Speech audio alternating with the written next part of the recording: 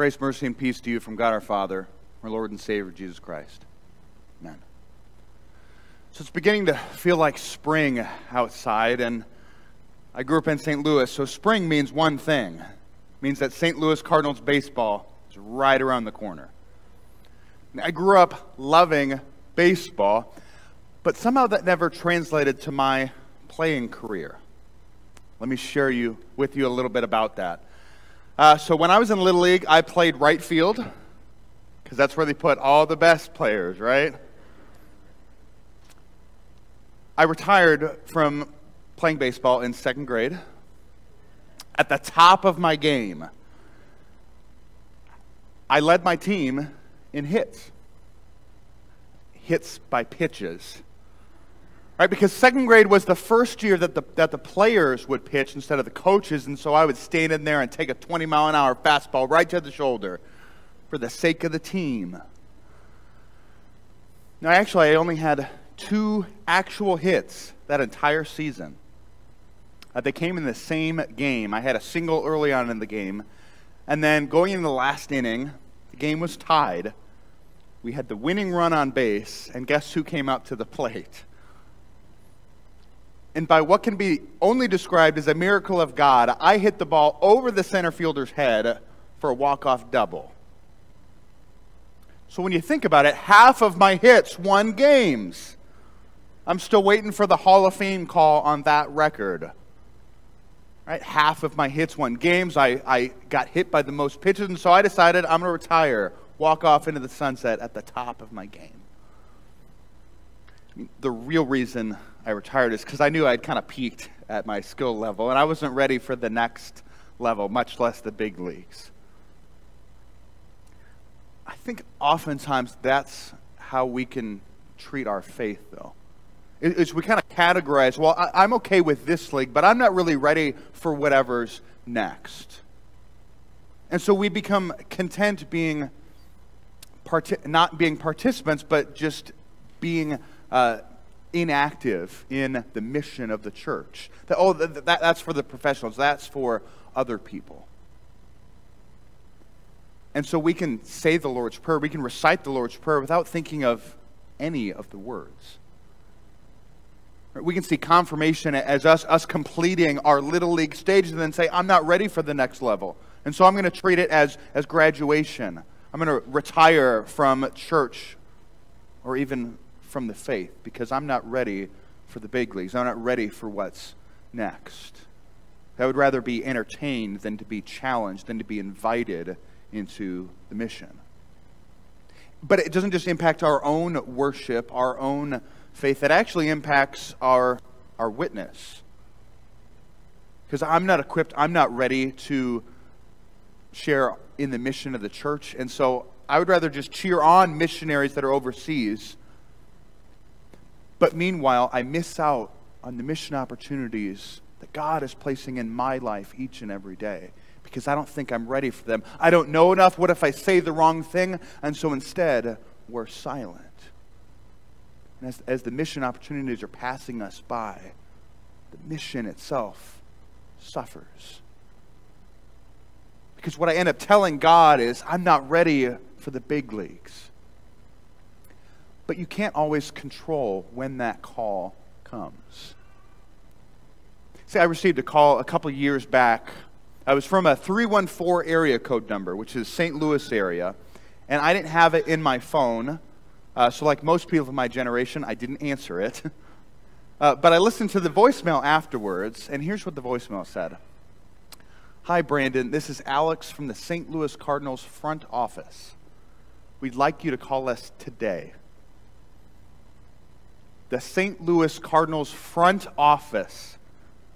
I mean, those are the people that make the decisions on who's on the roster and how much they get paid. And they're calling me because they're in the middle of a playoff chase. And they must have heard about my Little League career. Half of my hits won games, and, and it's September. They need another win. And so they're calling me up to the big leagues. In reality, they just wanted to sell me some end of the season tickets.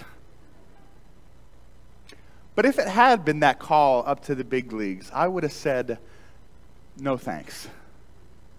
because I want my team to win. And if I know if I'm out there, then my team, it, it, the chances of them winning drastically decrease. Let's leave that to the professionals. When it comes to our faith, though, there are no professional Christians to leave the ministry to. There are professional church workers, but they're not professional Christians. See, thinking that they're professional Christians, that, would be like saying, well, what, What's your job? Well, I'm a professional brother. Yeah, I get paid to be a part of this family. Sure, that there's probably some really rich families out there that that's practically how it works. But in reality, that's not exactly the case. See, your, your, skill level, whatever you contribute to the family, doesn't make you more a member of that family. There are no professional family members, there are no professional Christians. You're a part of the family, it's, it's simply who you are. See, God doesn't take the mission of the church and leave it just to a select few. It's not about a few professionals that the rest of us get to just cheer on from the sidelines. No, all of us have been called up to the big leagues, to be a part of God's mission in this world. You can't always control when that call comes. I mean, anytime you, you go to work and you have a chance to interact with one of your coworkers who's in need of hope, you're being called up to the big leagues. Parents, from the moment you become a parent, you have been called up to the big leagues. Whether you feel equipped or not, you've received that calling. Students, when you're deciding whether or not to give in to peer pressure, in that moment you're called up to the big leagues to be a witness for Christ. See, you can't always control when the call comes. And you can't just wait for a professional to come in and take care of it for you because God has uniquely equipped you in that moment with those people, in the relationships that He's blessed you with. He's equipped you to be His witness. And it's easy to think, I don't know enough. I'm not equipped. I can't do this. Lord, why would you call me up to the big leagues? I mean, can't you find a better option? Surely you can't be serious about calling me God's response is, Yes, I am serious. Don't call me Shirley. Just look at who God chooses throughout the ministry of the church. I mean, Moses had issues speaking, and he was a fugitive because he was a murderer. I mean, that's not a great resume, and yet God chooses him. Peter gets in trouble constantly for saying the wrong things. Paul was an enemy of the church. I mean, God picks tax collectors and fishermen, seemingly all the wrong people. That's who God chooses. It doesn't make any sense. In fact, it's foolish. It's like he picks a team of right field little leaguers. But God knows what he's doing. Here's verse 25 from our epistle reading from 1 Corinthians. For the foolishness of God is wiser than men, the weakness of God is stronger than men. See, God knows what He's doing even when it doesn't make sense to us. Here's verse 26 For consider your callings, brothers. Not many of you were wise according to worldly standards, not many were powerful, not many were of noble birth. But God chose what is foolish in the world to shame the wise. God chose what is weak in the world to shame the strong. See, God doesn't respond to our objections, to our desire to sit on the sidelines, to not live mission centered lives. He doesn't respond by simply being more selective in who He chooses. He doesn't invite just a select elite onto His mission because it's not about your qualifications. It's not about your eloquence. It's not about your words, your track record, or anything like that. That's not why God calls you. It's despite all that. Despite your sin, despite your desire to be on the sidelines, God calls you. Because the foolishness of God is wiser than men. See, God gets us involved in the mission of the church by first making us the mission of the church. This is what God does for you on the cross. And Paul says that the word of cross is folly to those who are perishing, but to us who are being saved, it is the power of God. I mean, if there's anything that doesn't make sense, it's the cross. That God sends his son, and instead of wiping out rebellious humanity, he dies for us. He demonstrates his power through weakness and death.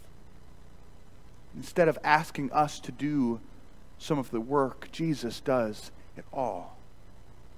It's foolish, it's a stumbling block, and yet it's how we're saved.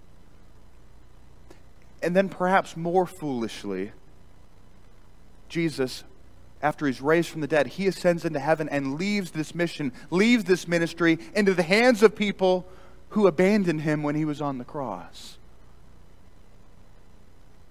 And they do it because God gave them everything they needed. It wasn't that they had impressive resumes, that they were the elite of the elite. It's because God always provides for those who he calls up. See, they had Christ and him crucified. That's all they had, and yet it was enough. You have the same calling. You've been called up to the big leagues. Well, the, the reality is there's only one league in the church. It's not like there's the big leagues for church work professionals and for missionaries, and then there's the little leagues for everyone else. Or there's the big leagues for adults and the little leagues for kids. No, there's one Lord, one faith, one baptism, one league. The missionary league, if we borrow the LWML's terminology for a moment. We're all missionaries. We're all on the mission field. And we've all been equipped with exactly what we need to do what God has called us to do. Because, like his disciples, you've been empowered with his Holy Spirit. You've been given the message of Christ crucified. It means you have everything that you need. Evangelism, the sharing of your faith, being called up to the missionary league, it seems like such a daunting task. But it's only daunting if we make it about us. But it's not about us, it's about Him. See, being part of the missionary league always remembers that you are a recipient of the mission. God is still at work in you. He's still forgiving you for the times that you'd rather stay on the sideline than be called into the ministry. He's still calling you to extend love and forgiveness and grace because that's what He's constantly extending to you. You're always a recipient of the mission that you're called to then share. And when you know that the mission is for you, it becomes a lot easier to share that with others because you're not telling people about some great thing that you've heard about. You're telling people about the God who has changed your life, who is changing your life. Because you have Christ crucified for you, you have everything that you need. That's what's at the heart of mission. And I had the chance to wrestle with this. Uh, for five years, I helped out with a witness workshop at the Lutheran High School in Jefferson City, Missouri. And so I was tasked with teaching uh, these high schoolers about witnessing, about evangelism for a couple days to prepare them for a workshop where they would actually witness uh, to people who were role playing uh, situations that they would find themselves in in life. And so I started off by, by trying to teach them all right, here's what other people believe, here's common objections, here's how you respond to them, trying to make them experts in all of that. And yet, each year as I taught that, I included far less every year of that kind of stuff. Because my job is not to be an expert in what someone else believes. Because they're already the expert. I just need to ask them questions. And so that's, as I went on in that process, that's what I taught more and more of, is how to ask good questions, how to get to know their story, how to care for them as a child of God. And that in that conversation, how to see those moments that God's given you. To share the hope that you have in Christ, to connect their story to the story of God's grace, to preach Christ crucified and risen for them. Because at the end of the day, that's all we have. And yet it works. Not just in a workshop, but in real life. It works because God changes people through the cross through a message that's, that's foolish to the world, but brings salvation for all. So, where do you start?